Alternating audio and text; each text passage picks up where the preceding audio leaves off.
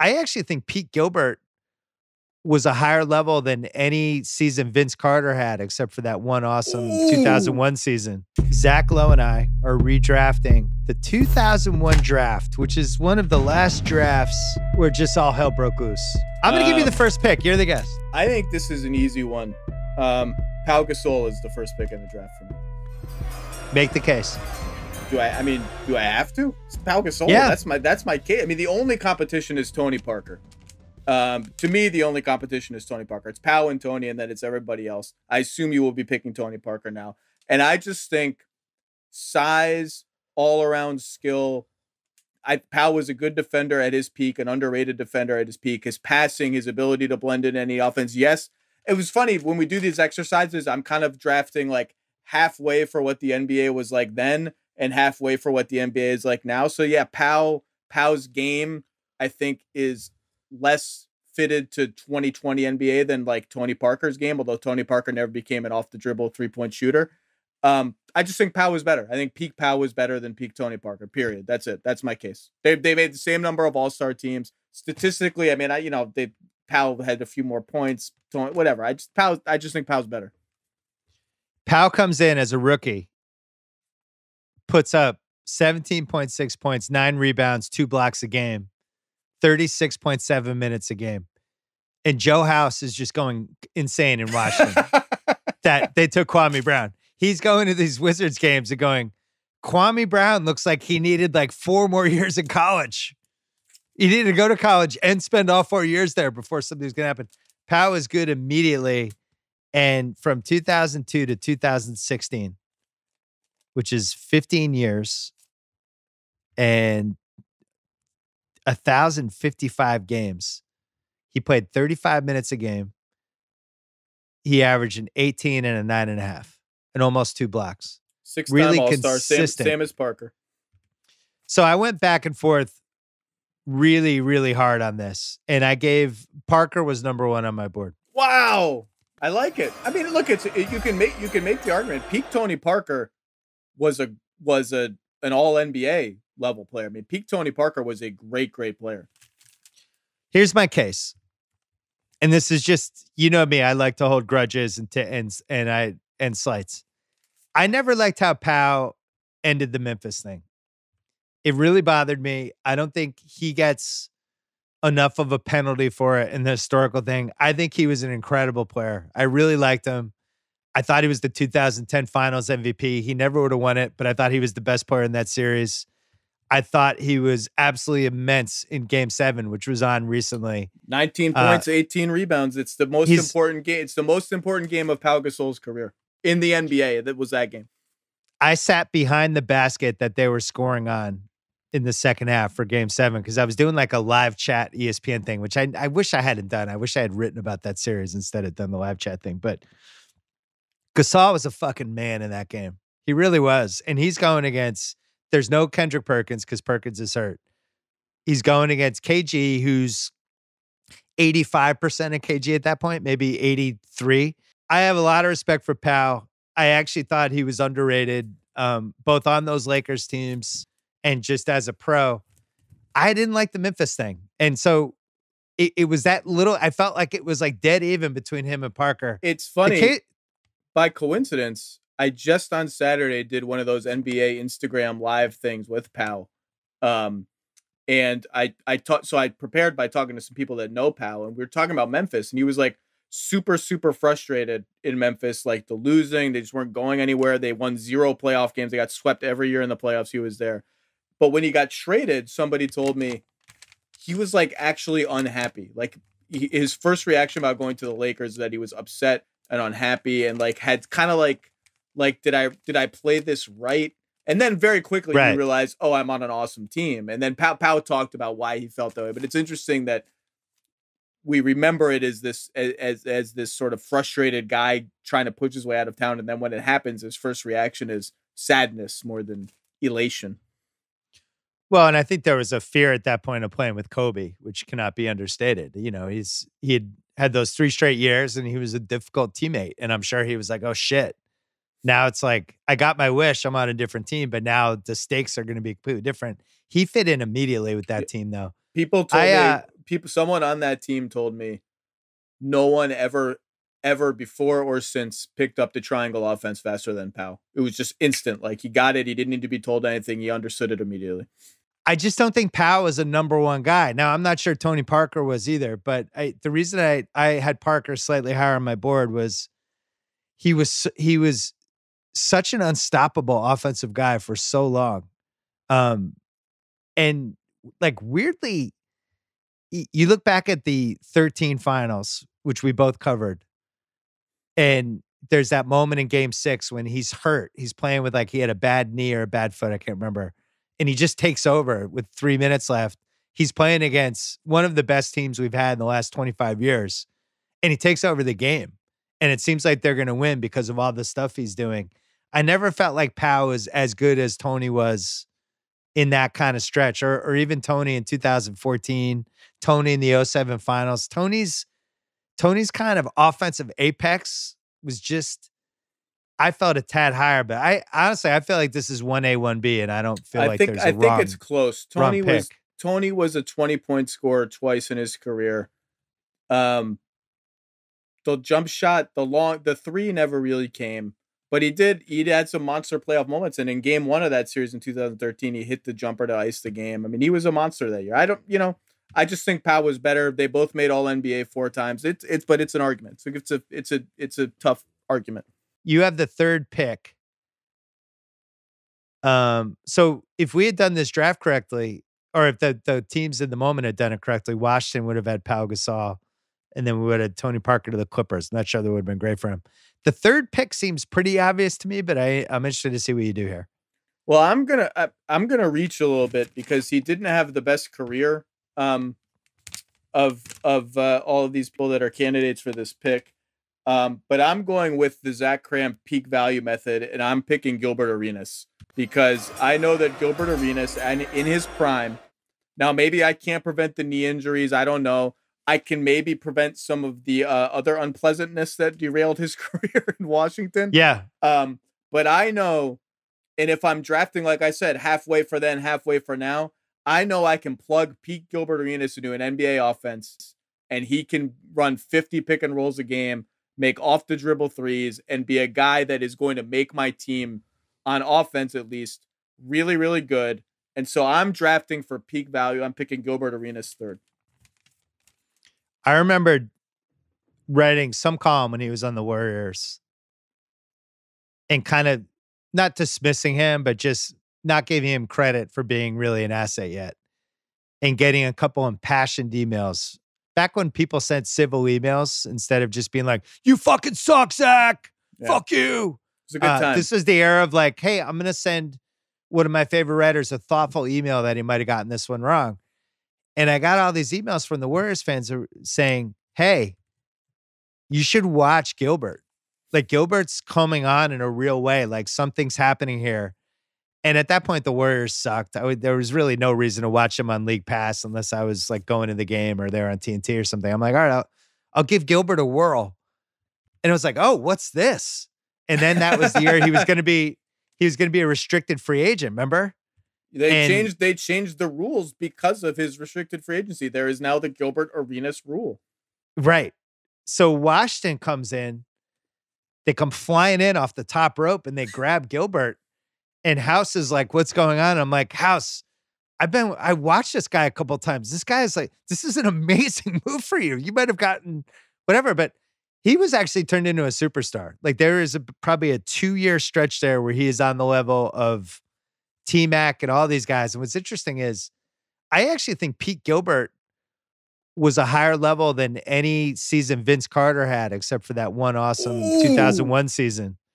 I honestly, like, if you're just talking about who did more offensively, you'd Well, probably Pete- say Gilbert. Gilbert just brought more to the table. Pete Gilbert was 29 and 6 on like eight threes or seven threes a game, which in 2006, 2007, there weren't many people shooting seven or eight threes a game.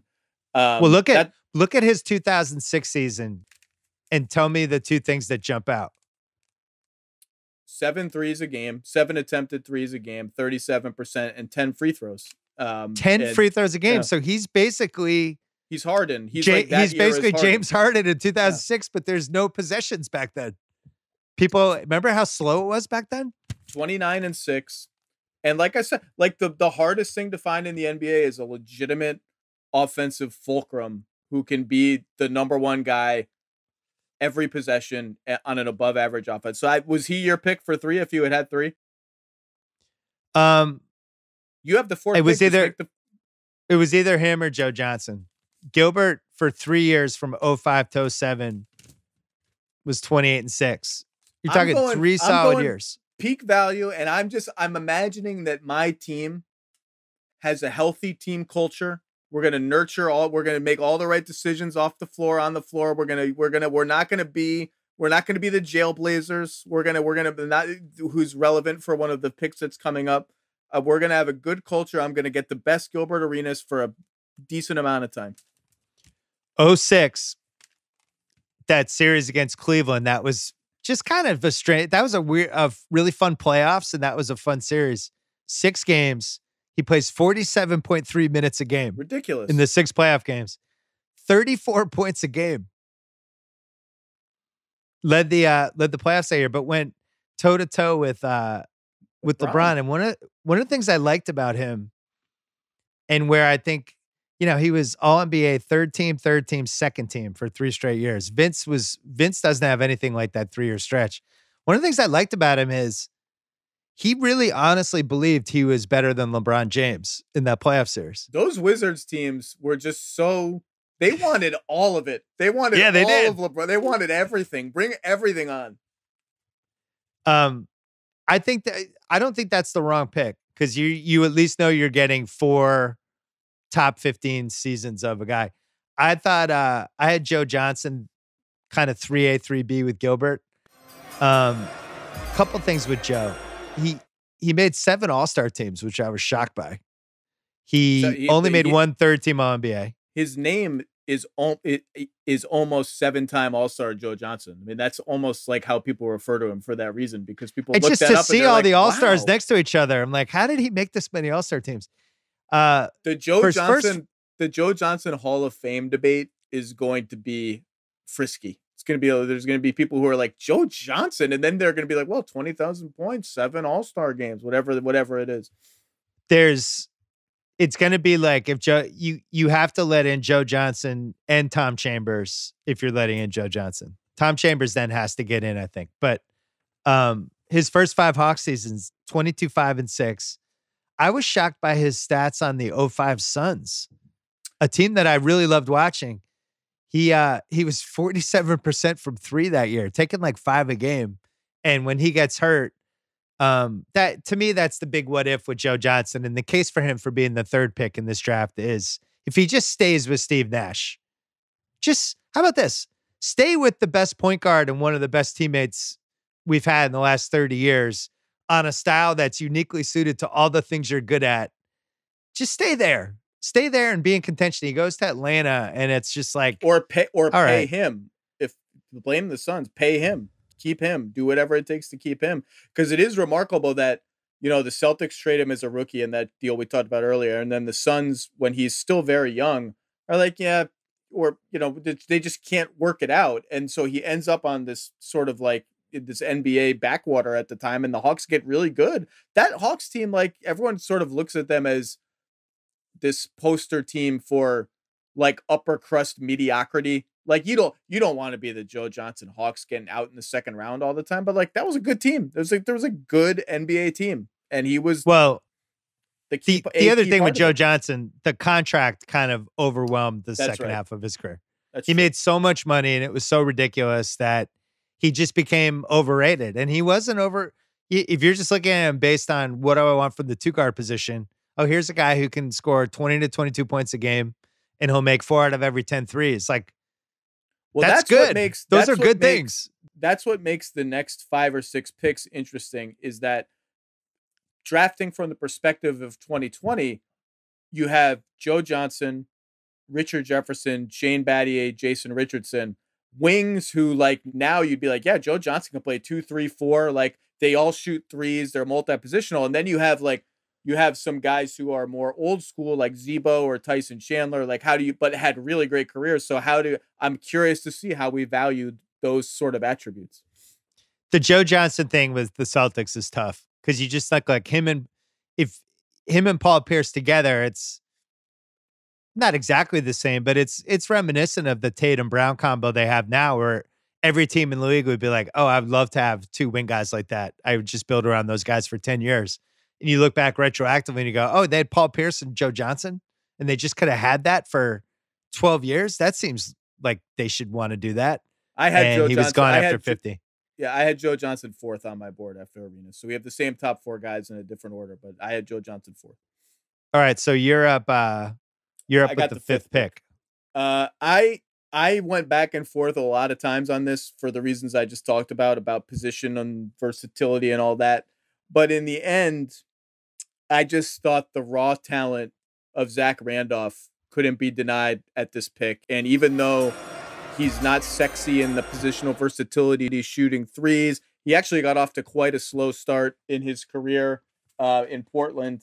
But uh, I just think at some point you just have to say he's the best guy of these guys. He's the most talented guy. And I'll find a way either to play inside out around him or maybe I'll coax him into shooting threes way earlier in his career than he had. He didn't really shoot threes until the last couple years of his career. Probably could have been a decent three point shooter if teams had actually directed his game that way. And I will have a good, healthy culture on my team for young Zach Randolph. There is not going to be jailblazer shenanigans going on. So I debated RJ. I debated Battier as sort of like all Shane Battier does is win. You know, um, I debated a couple other guys, but I just went I, at some point eight straight years averaging 18 points a game. Just a problem. Zach Randolph was a problem, and so I went Z-Bo. I had him there as well. 2010 guy for from 2004 through 2011. The thing, so it's funny.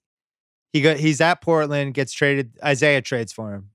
Everybody's like, "Well, that's the dumbest thing ever. You're going to play Isiah and Eddie. You're going to play Eddie Curry and Zach Randolph together." And Isiah was doing that whole. The rest of the league's getting faster and has more shooting. I'm going to zig the other way. I'm going to get bigger.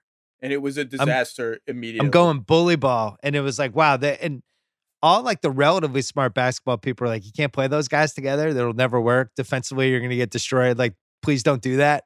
He I tried went it. back, I went back and read old clips, and it was it was a trip to see New York Times era Howard Beck after 20 games writing columns like, yeah, scouts around the league are like, one of these guys has to come off the bench because it's not working out with Eddie Curry and Zach Randolph, and like David Lee's getting lost in the shuffle. It's a disaster. Oof. So he gets traded to the Clippers. I had season tickets. That was the year I almost gave up my season tickets after the season. I have a running diary of going to a game where it ends with Z- they're down two and Zach Randolph airballs a 29 footer coming out of a timeout to lose the game. And at that point, there was if Zach Randolph stock was like a penny, I would have not wanted Zach Randolph stock. I was just like, this guy's a loser. He puts up empty calorie stats on bad teams, and that's where I'm landing. But you look at that Memphis, he goes to That's Memphis. how Memphis got him. Memphis got him, and it's just was straight salary dump. Like, please take Zach Randolph. There were Quentin Richardson was in that deal. There was like other stuff, but Memphis got him for essentially free. Right. They get him. But I think that 2011 season, he's 20 and 12 and then goes into the playoffs. And this is one of the lost great playoff upsets because we, the Spurs now from 11 through 14, there's this second Spurs run that's happening. And in 11, they get just derailed by this crazy Memphis team. That's a terrible matchup for them for whatever reason. I think they easily could have made the finals that year. 2012, they're about to make the finals, and OKC taps into this unbelievable potential. They they end up not making it. 2013, they're up five with 28 seconds left, blow it. And then 2014, they finally win. But man, if you look back at that Spurs run, the over under for titles is easily two. It might even be two and a half, considering what else happened in the league at that point. And this 2011, it was fucking bonkers. Memphis not only upset them, it was legitimate. It was like if those teams played 20 times, I think Memphis wins like 14 or 15. It just everything about it was a bad matchup. All right, so I you got the the sixth pick. you got the sixth pick, and now it gets really interesting. I think. So we went Pau Gasol, Tony Parker, Gilbert Arenas, Joe Johnson, Zach Randolph. I am taking Tyson Chandler with the six pick. Ooh. And, and here's my case. I think his career, if you played it 20 times, this is probably one of the worst versions of it. He goes to that weird Chicago team. Um, nothing goes right. Just, you know, hurts his back. That's a huge setback. Um, gets traded to New Orleans. He's with Chris Paul. Great. This is this is going to be awesome. Has a couple good New Orleans years for them. In 08, he was almost tw- he was 12 and 12 in the regular season. Uh 62% shooting. And then at some point he ends up on he, he ends up on Charlotte. But then if you remember, there's this unbelievable fork in the road moment with him where OKC Oklahoma trades City. for him Yeah. and then vetoes the trade because of a physical. And he almost ends up on this team with Ibaka, Durant, and Westbrook as the Kendrick Perkins piece. They st- would have kept Jeff Green or traded him for somewhere else. So there's a couple forks in the road there where I just feel like, man, in a different situation, he's better. I also think as like a screen and roll guy in 2020, if you take mid 2000s Tyson Chandler, I think uh, something happens there. Two other cases for him. He's third team All NBA in 2012 for the Knicks. And then in the in the Dallas series, even though the stats don't really measure the full impact, he's one of the reasons they won that Dow- the uh, Miami finals with uh, the defense of him and Marion and just the way they were able to just continually was- build a wall. He was insanely good in those finals defensively. Yeah. Insanely good. And he won defensive player of the year once for the Knicks. Um, probably in And that then same the- all the NBA last- season. So he's basically he's basically a 10 and 10 from the 2003 season all the way through 2017. He's 11 and 12 for those uh 15 years and I just I like the longevity and I do think that it, and he's also a great teammate, beloved teammate by all accounts, right? Did you ever hear not a lot of bad Tyson Chandler stuff out there? I always felt like his teammates liked him. Phoenix had- was probably a little rough. Phoenix was rough. Um, I, you know, Dallas round two, he had a he had moments in Dallas round two for the 2014-15 Mavs.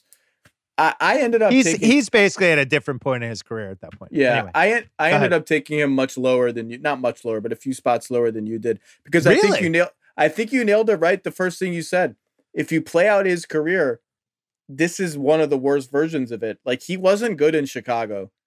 And like if you boil down Tyson Chandler's career, the highs were really high. Like he's an NBA champion, he's a defensive player there. He's a crit, he's the keystone of an NBA championship defense.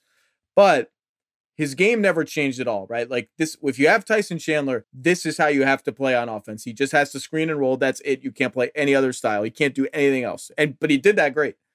And you're really getting like, if you boil it down, he had five good seasons, maybe six. The two New Orleans seasons with CP, and then Dallas Knicks Knicks. And after that, the decline kind of came fast. And given his his one dimensionality on offense and his relatively maybe abbreviated peak, I had him a little bit lower, but I love Tyson Chandler. So I I you know, I I don't feel strongly about my six, seven, eight, nine order, but I did I had him lower than you did. One thing I one thing with Chandler I forgot to mention. I think if he had a really good point guard, it's a little like DeAndre Jordan, and and Marcus Camby. There's certain guys who it's like if if you if they're just a recipient of somebody else's brilliance, they actually are going to even be much better. And the stuff I thought he was great on those New Orleans teams, but Well, he's if playing you're, Chris if Paul. A lob, if you're a lob catcher and you're playing at that time with the best lob thrower in the NBA and David West is the stretch four and Stojakovic is involved, like you're just going to be rolling into open space and you're going to thrive. And the same thing with Mavs, like smart offense, Dirk at the four, like you're going to be rolling into open space. All right, you're up. Seven pick. Uh, I went. Now you get to since you've taken Tyson Chandler off the board. Now you get the three wings who I have all right next to each other, and Richard Jefferson, Shane Battier, and Jason Richardson. I flirted with taking Battier here because of just how long he was like a an elite stopper on defense and one of sort of the not original but one of the like version 2.0 of 3 and D guys.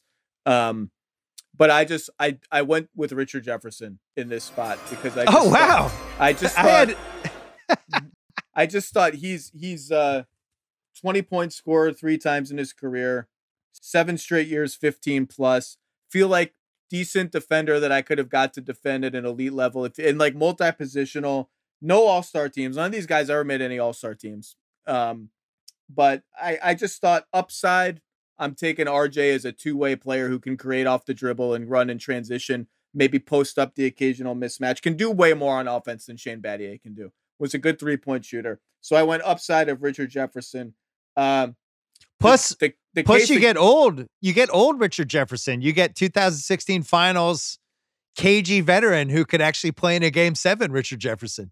But the the like from age 29 to that finals was rough for Richard. Like the, when the decline happened, it came fast. Like Spurs era Richard Jefferson, Warriors era Richard Jeff. Like it wasn't it wasn't great for a while. So I went, but I went RJ in this spot at seven. Beloved teammate too. I I thought the I had Jason Richardson the highest of those three. I'm gonna make. I had case. I had him the lo- I had him the lowest. Interesting. Of those three.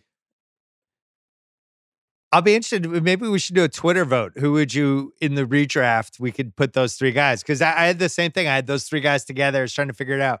Here's the case for uh, Richardson. So you take Richardson eight then in this yeah, in this mock draft. I'm taking okay. him eighth. Um, 07 Warriors had some monster I thought games. He, he, had some monster games in the We Believe run. Electric team in the uh, playoffs, 11 playoff games, 39 minutes a game. He was 19 and seven took seven and a half threes a game in the 07 playoffs. So I felt like if you're extending him forward into how we play basketball now, it'd be even better because you know he's jacking up. I, the thing that really pushed it over the top for me, other than you know, I just think he was a better, the best player of those three guys. Like just you know, he averaged 22 a game for Golden State in 06 yeah. for yeah. 75 games. But I remember I was friends with Steve Kerr by the time the 2010 Suns team really rolled into a team that almost made the finals and unexpectedly in a lot of ways. And I remember when they traded for Richardson, just talking to Steve about it at the time. And he was like, This guy's such a good player. We had no idea. And I knew Nash a little bit at that point because we were doing 30 for 30. He was like, We had no idea Richardson was this good. He just, not only does he fit in with all the stuff we love to do, but we can actually like throw him the ball and he can create a shot.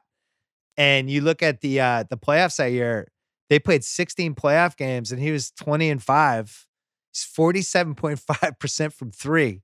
So he's another guy that I if you played his career 20 times, I wonder how many times there's a better version of what we ended up with where yeah, basically he's he's Golden State and Charlotte for the first 8 years of his career. Those teams sucked. I don't you know? I don't quibble with it. I you could throw these three wings in any order you want. I had them all ahead of Tyson Chandler just because I'm drafting with a little bit of an eye on 2020 versatility. Um, I just I I just I never quite trusted Jason Richardson in a big spot. I just I, mm. for some reason I never I just never maybe I'm maybe the missed box out he had for Phoenix uh, in game 5 of those conference finals when Artest tips in the the Kobe airball, his coloring perception of him. But I the We Believe thing was like found money. That was just feel good, fun times, and they were a really good team. Um, I just I just kind of never trusted Jason Richardson in like a just a big, big, big spot. Never trusted him. So I had I had him after Battier. So I will then take Battier with what are we at the ninth pick? I'll take Battier ninth. Uh Battier ninth pick. I think it's fair. I think it's good value. I think uh couple things have to be mentioned just quickly with him. He's basically the the George Washington of advanced metric basketball players, right? The Michael yeah. Lewis piece about why Daryl chose him over Rudy Gay. The no, he, the no he, stats all star. Right. He becomes the money ball, baseball, whoever the guys on the Oakland A's were that Michael Lewis wrote about for that. Scott um. I uh his 2012 finals game I'm sorry, 2013 finals game seven. They needed somebody to get hot who wasn't LeBron James, somebody to make some threes. It was either going to be him, Mario Chalmers, or Ray Allen. And if one of those three guys didn't make some threes, they're losing. And he got hot. But remember, we were working that year. And remember, we talked to him during that finals. Remember how bummed out he was? He wasn't, he wasn't playing. playing. He went, he went, he was like barely playing. And and we were asking him like, "What's going on, man? You cool?" And he just had that look like there's so much I want to say, but I'm not. I don't want to upset the apple cart. But Well, look I'm so this. fucking mad I'm not playing. look at this game log. Last three games against Indiana in the conference finals: eight minutes, four minutes, DNP. First four games of the final six minutes, five minutes, eight minutes, eight minutes. Then he's up to 17 and 12, and then in game seven, 29 minutes, six threes. That's a And- crazy game seven. And honestly, that's why they win because that game was was a two point game with a minute left at San Antonio the ball, and if he doesn't make, if he if he goes zero for eight or one for eight, they lose. So Yeah. So I, I had him. I just think Shane Battier is a winning basketball player. So I had him a little Me higher. But I will take. I had him seventh on my board, but I will gladly accept him with the ninth pick in this draft. I so you can't had wait. to see- Chandler I- and Richardson. Yeah, I I, I Above- went uh, Battier. I went RJ six, Battier seven, Jay Rich eight, Tyson Chandler nine. I can't wait to see who you pick tenth. Well, for everyone scoring at home, there's now a drop off. We have now entered Yes. the Gerald, Gerald Wallace, Memo Okur, Troy Murphy, Eddie Curry, Vlad Radmanovic, Kwame Brown, Sam Dalembert, Jamal Tinsley, Earl Watson, Carlos Arroyo. Yeah, we can probably speed. draft. We can probably speed through. Yeah, we, five we're we're we're in the home stretch. I uh I really enjoyed Memo Okur. Yes, I, I am taking him I- tenth. I, thought I was gonna reach and have him tenth. He's a no brainer. Tenth pick. it's it's a guy that for a couple years there was was first of all he finished his career as a 14 and 7 which i was surprised by but then you look at some of the three point stats Dude, he was good. on uh, yeah an, an 08 and 09 combined. Oh let's throw in 2010 too actually. Uh so three years on utah competitive teams and he's 40% from three taking 3.3 a game. 15 and 7 but you think like nowadays with basketball he'd be like coveted right? He there'd be like be- 10 teams after Memo, Memo Okur. he would be a like he was and now would be even more in elite uh, like a really good stretch five. Like memo Okur was a really good stretch five. That's what he would be. He would be bombing threes. He would be on offense he would be Brook Lopez except he would be taking twice as many threes. On defense he would not be Brook Lopez but that he would be a dangerous dangerous player. So I had him 10th no no brainer 2008 playoffs 12 games they lose to the lakers round two. 15 and 12 those Utah teams that- were fun with Boozer and Okur and D Will. Those were fun teams. 15 and 12 took 4.3 threes a game 37% from three. So a little ahead of his time. Who knew? Memo Okur. a Mike uh, Budenholzer kind of coach would get him today and be like, "You're taking 12 threes a game. You're gonna, we're just gonna pick and pop every play, and you're gonna take a million threes." and he got hurt but he's the other piece with him was he was on the pistons originally Yep. and they kind of fucked it up and they got rid of him. And he's somebody that would have helped them in the mid 2000s as they, you know, went down some of the Yeah, he- bigger he's series they tra- played. He's one of those guys where if you have him and you keep him, you're able to transition more smoothly from one era to the next without as much of a, a drop off. So I had him 10th too. So I get to pick you- 11th. By the way, he played in an All Star game. Memo was good. Like I, I thought about, I thought almost half for fun and half for serious. I thought about taking him even higher than this. All right, who do you have? Uh, what pick is this? 11? Yeah, 11. 11. I went uh, Gerald Wallace. Uh, just, just if we can ever get the shooting a little better, the value, like just a guy who can guard everywhere and was a, you know, off the court. I think uh, the stories about his diet, his habits are pretty well known. Like I, I, but I think on my team, we would have been ahead of the curve with personal chefs like delivering stuff to his house in the off season. I would have made Gerald Wallace a, a better three point shooter, and just you throw in the defense. Like Gerald Wallace was good, man. I, I have no, I'm fine with him at this pick. What was the? I don't remember the diet stories. I What was he it? Is he like eat just well. an eat a hot think, dogs guy? Yeah, I think he, I think he was a bad eater, and uh, and I would have rectified that. He was a really good. But I think when he when he kind of declined fast, people were Yeah. not people in the league were not surprised that he declined fast, like after age thirty, So he got Rod Stricklanditis. maybe. There was, I was playing fantasy all all the 2000s. That 2010 season he had, he had some good Charlotte. Those Charlotte teams were weirdly competent there for a couple years. Captain Jack was involved there a little bit. Yeah, Um, but he he averaged 10 rebounds a game in 2010. He was 18 and 10. But I remember He had a couple games that year where he'd have like 25 rebounds or like some crazy number. He'd be like, Gerald Wallace? He's he was a good was- player. How? You put a little you put a little guy on him, he could mash him in the post. Like prime Gerald Wallace could do a lot of stuff. we can't let a Gerald Wallace section of the podcast go without bringing up one other piece. Damian Lillard. Yeah. Three player draft. All right. Uh 12th pick. I only have one guy left on my board and then it gets dark. I, I thought Troy Murphy had a couple good years. We are we are in lockstep. Yeah. Lockstep. Troy Murphy is like the the slightly JV Memo Okur. If he were today, people would just make him a stretch five. He would shoot a ton of threes, and he was a really good shooter. So, as you know, my dad loved any left-handed white guy who reminded him of Dave Cowens. Was is the quickest way to my dad's heart. My dad was very upset when they didn't take Troy Murphy with the 11th pick in 2001, the Celtics. And then as it became pretty clear pretty quickly that Kedrick Brown was destined for Yugoslavia or Spain or Russia or whatever country he was going to end up playing in, there was a Troy Murphy year 05. Yeah. He puts up 15 and 11 for Golden State and shoots almost 40% from three, too. He's like sneaky good three point shooter. Um, and then became openly good when he got to Indiana because they actually had him shoot the threes. And my dad was just furious about Troy Murphy. You would have thought Troy Murphy was like the next Larry Bird.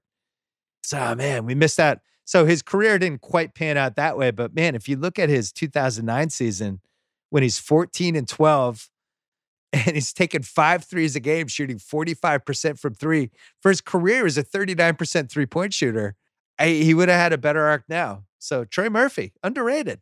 Yeah, I had of. him no, easily 12th pick, and I thought about taking him higher, but I just couldn't. But yeah, he would just shoot a lot of threes.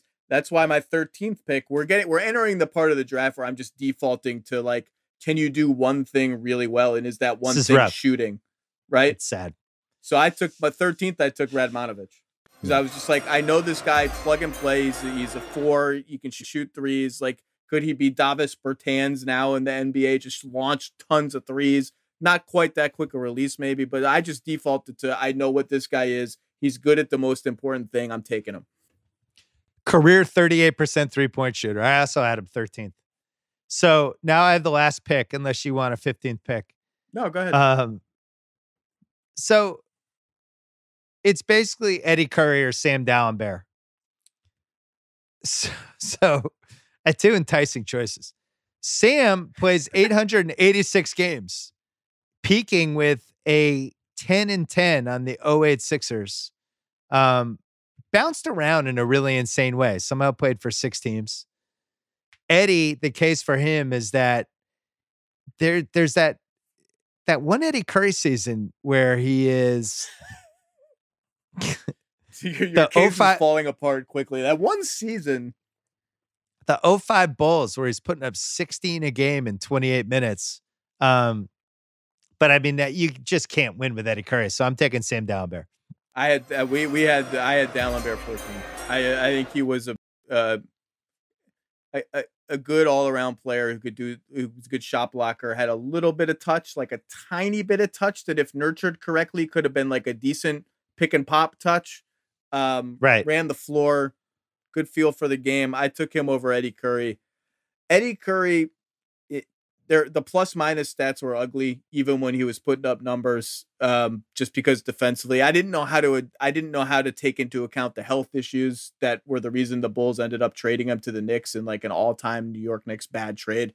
Um, but I took Dalembert as well. So the so that means picks one and four do not make our revised top 14. Kwame Brown or Eddie Curry. Not to mention Eddie Griffin. And Um, DeSagana Diop, Rodney White, Kedrick Brown all fall out of uh, Eddie Griffin. All fall, which I did. I didn't know what to do with Eddie Griffin, but they all fall out of the lottery. so we went Gasol one, Parker two, Arenas three, Joe Johnson four, Zach Randolph five, Chandler six, Richard Jefferson seven, Jay Rich eight, Shane Battier nine, Yes. Memo Okur, big winner of this pod, 10. Gerald Wallace, 11. Troy Murphy, 12. Radmanovic, 13. Dalembert, 14. Zach Lowe, glad you're staying safe. Thanks for coming on. Pleasure as always. Always a pleasure, my friend.